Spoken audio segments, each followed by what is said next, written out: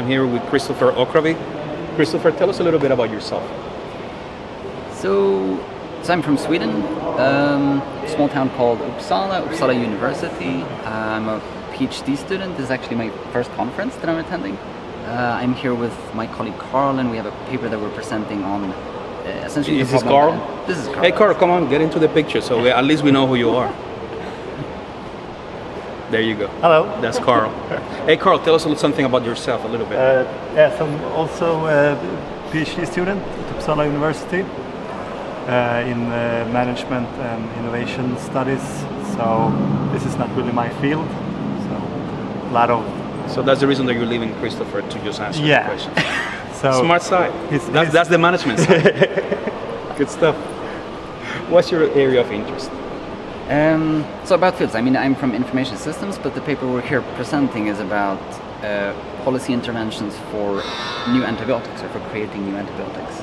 So New what? we're antibiotics. So we're growing resistant to the antibiotics that we have, and we're not developing new antibiotics quickly enough right, to Mm. offset the fact that we're growing resistant to, to the ones we have. Um, so what we're looking at is essentially then innovation. We're saying if governments, for example, are about to spend money to uh, fund uh, antibiotics research, where and under what conditions, under what circumstances should that money be uh, spent? Right? Where should we funnel the money? Does it make sense to push it early? Does it make, make sense to push it later? What, what kind of amounts of money? Are we talking money or are we talking different kinds of support? And so that's the reason we're using simulation, right? We're trying to use simulation to quantify. I mean, this is a massive debate and people have a lot, lots of opinions. Uh, but it's we're trying to bring some level of evidence. I mean, of course, it's it's it's difficult to, for example, verify or uh, validate the, the models that we're building. Um, but but really, it's, it's it's some evidence. We're kind of in the position where we have to say, do we do we want to use some data or do we want to base decisions decisions on no data? So. So when you talk about on. no data, how do you go about working in a simulation with no data? So, you know, of course, there, there is data. I'm, I'm, I'm exaggerating, but concretely, the work we've uh, presented here uh, is about mapping the antibiotics that are currently in development, uh, and then looking at what the characteristics of those are, and then looking at other data set to say that uh, antibiotics that target these indications usually have uh, such and such costs, such and such risks, such and such uh, development times, etc.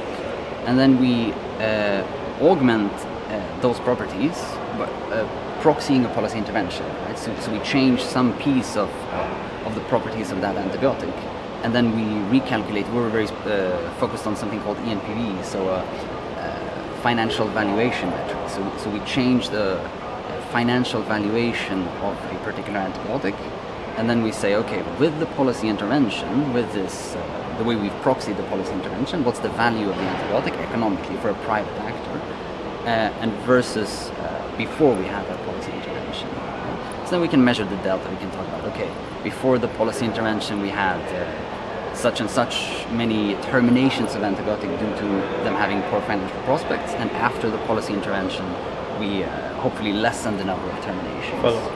That's cool. Tell me about the life of a PhD student in Sweden. I'm sure that um, you have heard about a whole bunch of horror stories about the PhD life of a student in the US. How about the student in Sweden? I, ha- I have not, but You have not?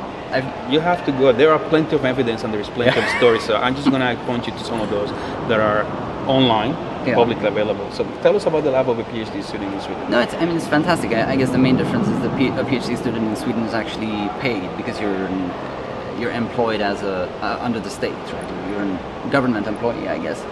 Um, and I guess much as here, like it's very different depending on what institution you're in, right? But of course, there's always with PhD, it's very free, right? Like you're you're pursuing something that you're very interested and passionate about, and you try to solve a, a real problem. I, to me, for example, one thing that's very important is that we're looking at a problem that I find is actually very important. I mean, many problems are very important, but I feel this is a, a chance of actually spending intellectual time on something and hopefully having some kind of small impact, making some kind of actual difference. And people are different, but I guess to me that actually matters. Right? At least you've tried. It. What do you think your advisor hates you? Sorry. What do you think your advisor hates you? Hates about you? No, what, what, what does he hate you? What do you think he hates you? You told me about that the other day. So yeah. Um, you don't think he hates you? no, of course. It's, it's always tricky to have a PhD student, you Well, hate your advisor. Come on, this is It's on camera. so, no, no, no. But, but not yet. But, but I guess what's tricky, I mean, uh, again, what's always tricky about a, a, a PhD, I assume, is the fact that it's very free, right? So, so there's this constant search for structure, right? And uh, being the one who's actually pursuing the PhD, you might seek a little bit more structure than your supervisor would actually think that you've earned or should have, right? Because it's good for your actual, for your development to not have that structure. You're gonna be a great politician. Uh, That is I'm fan- answering a that is a, that is a fantastic answer. so, are you a dog person, cat person, or robot person?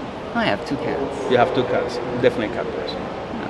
But robots are fantastic. I mean, it's Do like- you have one?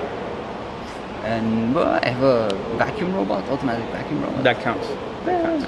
Thank you very much, Christopher. I appreciate it. Thank you very much.